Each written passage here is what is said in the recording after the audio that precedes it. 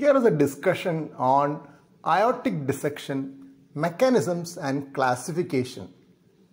Aortic dissection usually starts an in, as an intimal tear either in the region of the aortic valve or at the region of the ligamentum arteriosum just beyond the left subclavian. That is a site where the ductus arteriosus was there in fetal life.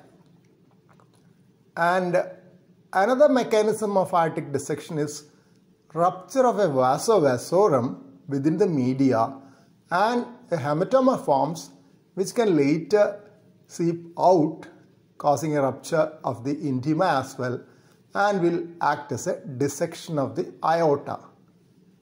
Now there are various classifications of aortic dissection.